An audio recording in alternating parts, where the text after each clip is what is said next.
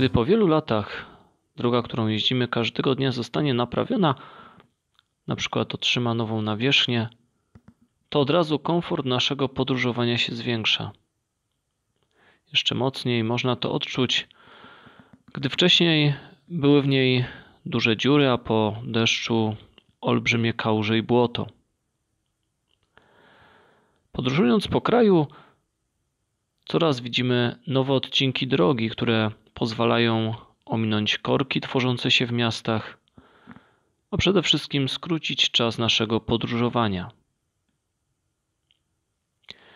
Ewangelia przenosi nas w miejsce, gdzie podróżowanie łączyło się z wielkim trudem i gdzie czas liczono całkiem inaczej.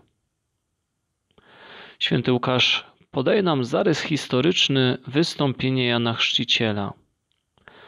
Bierze pod uwagę trzy czynniki: rządy Rzymian, rządy Żydów i rządy w świątyni. Bardzo dokładnie rysuje tło wydarzeń, które rozpoczynają najważniejszy moment w historii zbawienia. Jan Chrzciciel to jeden z głównych patronów Adwentu. Pamiętamy zapowiedź jego narodzenia i brak wiary jego ojca. Zachariasz miał, można powiedzieć, dziewięć miesięcy kwarantanny, bo nie mógł wypowiedzieć słowa, więc w ciszy przygotowywał się na narodzenie swojego długo oczekiwanego syna. Cisza jest kluczowa w przypadku Jana, bo Słowo Boże zostało do niego skierowane, gdy przebywał na pustyni, czyli w ciszy.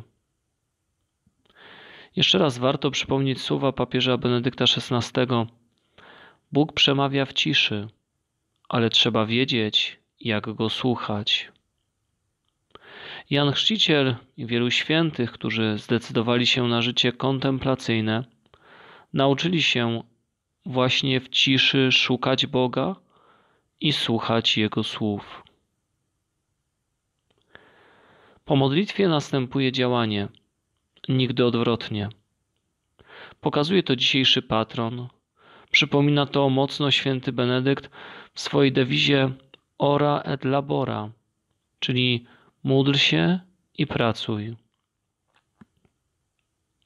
Jan po spotkaniu z Bogiem rozpoczyna swoje zadanie, wzywa do nawrócenia i udziela chrztu jako zewnętrznego znaku przemiany życia i przygotowania na przyjście Zbawiciela.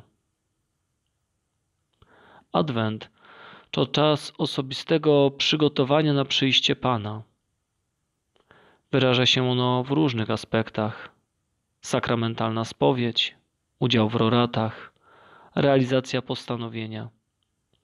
Ale przede wszystkim jest to osobista modlitwa, gdzie w ciszy usłyszymy głos naszego Boga i będziemy na co dzień realizować Jego wolę.